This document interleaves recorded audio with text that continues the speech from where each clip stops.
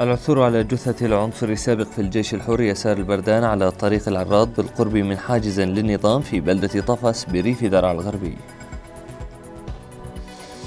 الدفاع المدني السوري يقول إنه تم فقدان طالبة جامعية جراء غرق مركب في مياه عين الزرقاء في منطقة دركوش بريف إدلب.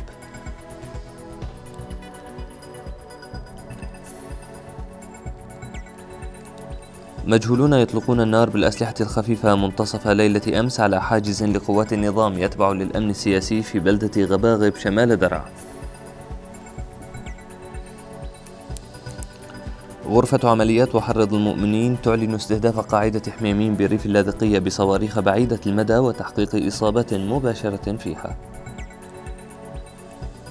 قتل وجرح أكثر من عشرة عناصر من قوات النظام على جبهة المشاريع في سهل الغاب بريف حماة الغربي إثر استهدافهم من قبل غرفة عمليات وحرض المؤمنين.